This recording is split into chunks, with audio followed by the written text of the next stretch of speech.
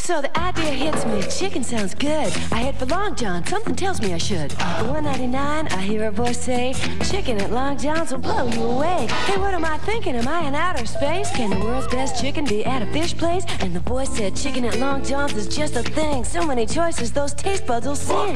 for your buck. So I stopped at the sign, couldn't believe my eyes. Got the 199 fish, chicken, and fries. So if you're thinking chicken, you gotta go fish. At Long John Silver's, you're gonna get your wish.